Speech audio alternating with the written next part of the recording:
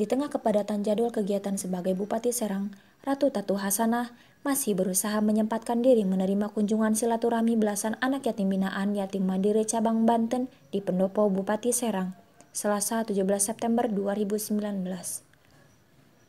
Dalam acara yang bertema Yatim Berdaya, Yatim Mandiri bersama Bupati Serang, Ratu Tatu Hasanah, hadir Ketua Yatim Mandiri Cabang Banten yaitu Andi Setiadi. Acara silaturahmi dan dialog bupati bersama anak yatim ini dipandu oleh Rahmat Ginanjar.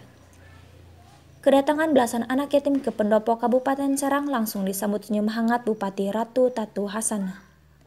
Dia langsung menyalami, mencium, dan memeluk satu persatu anak yatim tersebut.